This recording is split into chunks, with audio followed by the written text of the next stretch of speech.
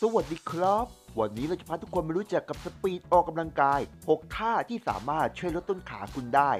ภายในไม่ถึง 4 นาที เรามารู้จักกับท่าแรกก่อนเลยครับ ท่าแรกเป็นท่าการออกกำลังกายที่ง่ายมากนั่นก็คือการเตะครับผม เตะไปด้านข้างในลักษณะนี้ ท่านี้จะสามารถช่วยลดต้นขาหน้าท้องได้ รวมไปถึงสามารถช่วยกำจัดปัญหาขาเบียดได้อีกด้วย เป็นท่าการออกกำลังกายแบบง่ายๆครับ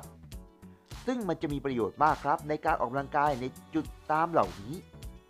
สามารถออกได้ทุกวันครับ ท่าที่ 2 ท่าที่ 2 เป็นการออกกำลังกายด้วยการเตะหลัง เตะท่านี้จะเป็นท่าการออกกำลังกายแบบต่อเนื่องครับ มันสามารถช่วยยกกระชับบริเวณน่องต้นขาได้เป็นอย่างดีซึ่งจะมีประโยชน์มากสำหรับผู้สูงอายุ และผู้ที่มีปัญหาทางด้านสุขภาพ เดินไม่คล่อง ท่านี้ช่วยได้เป็นอย่างดีครับสำหรับการออกกำลังกายแบบต่อเนื่องเช่นกัน เข้ามาสู่ท่าที่ 3 กันดีกว่าครับท่าการออกกำลังกายท่าที่ 3 เป็นท่าการออกกำลังกายแบบต่อเนื่องเพื่อดูแลบริเวณกล้ามเนื้อ ส่วนขาและส่วนน่องท่านี้ให้คุณจัดเตรียมท่าการออกกำลังกายในลักษณะนี้ หลังจากนั้นก็เตะขาไปด้านข้างครับ ท่านี้ให้ย่อตัวลงเล็กน้อย มันจะสามารถช่วยยกกระชับกล้ามเนื้อ สลายไขมัน และเสริมสร้างกล้ามเนื้อได้ไปพร้อม ๆ กันครับมันเยี่ยมไปเลยใช่ไหมครับสำหรับท่านี้ ซึ่งจะมีประโยชน์มากครับในการช่วยเสริมสร้างกล้ามเนื้อตามจุดต่างๆ เหล่านี้ เข้าสู่ท่าต่อมา ท่าทีสี่4 ครับ ท่าทีสี่ 4 เป็นท่าการออกกำลังกายแบบต่อเนื่องจากท่าเมื่อสักครู่เช่นเคย เมื่อคืนนี้เตะข้างขาวนี้เตะหลังครับท่านี้สามารถช่วยดูแลกล้ามเนื้อบริเวณกล้ามเนื้อส่วนหลังสำหรับผู้สูงอายุ ผู้มีปัญหาสุขภาพ และผู้ที่ต้องการลดน้ำหนัก ก็สามารถออกกำลังกายท่านี้แบบต่อเนื่องได้ เช่นเดียวกัน เป็นท่าการออกกำลังกายที่ง่ายครับ และได้ผลดีมาก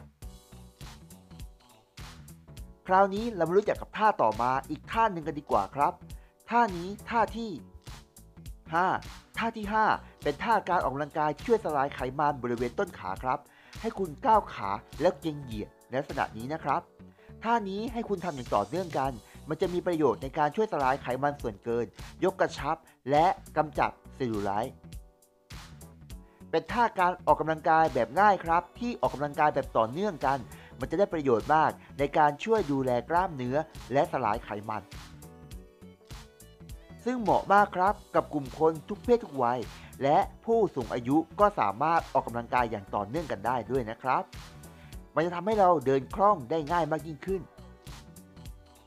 ท่าสุดท้ายท่าที่ 6 ครับท่าที่ 6 เป็นท่าการออกกำลังกายท่าสุดท้ายนั่นก็คือท่าย่อตัวท่านี้ขอแนะนำให้ทำเท่าที่ทำได้นะครับ เราจะออกกำลังกายแบบต่อเนื่องกัน มันจะสามารถช่วยยกกระชับกล้ามเนื้อ สลายไขมันส่วนเกินกำจัดเซลลูไลท์ได้ ถ้าหากคุณออกกำลังกายอย่างต่อเนื่องกันเป็นประจำครับ